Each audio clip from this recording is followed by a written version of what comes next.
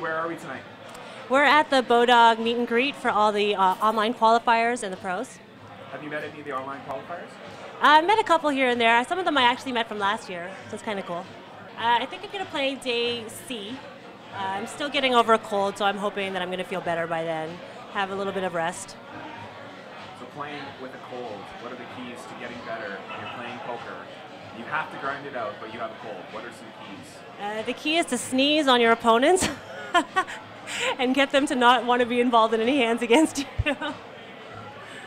Seriously? Uh, Trying to get everyone else sicker than you are? no, I mean, it probably wouldn't take effect right away, but I mean, it doesn't hurt, I guess.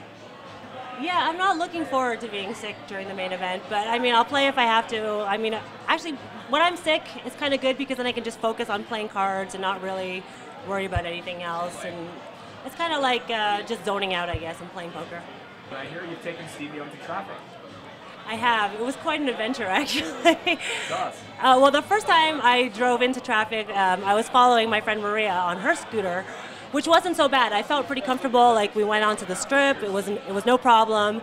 And then it was like that movie in Clueless where you turn down the wrong street, and we were not on the freeway, we were, but we were on Frank Sinatra Boulevard, which is like right next to the freeway, and people want to go fast on that street. Nobody really wanted to slow down for scooters.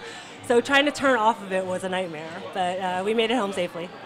So so far, no uh, no scraped knees, and Stevie's in good shape. No, I haven't dropped him yet. uh, yeah, still, I'm, I'm still like a little bit noobish on the scooter, but I feel okay. Like I feel okay going into traffic, but not far distances or anything.